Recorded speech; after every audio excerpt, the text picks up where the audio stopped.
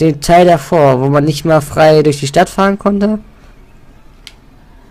sondern wo man noch immer so quasi gebunden war, wo man nur immer Rennen fahren, konnte. Äh, also quasi das erste Need for Speed und das für GameCube damals.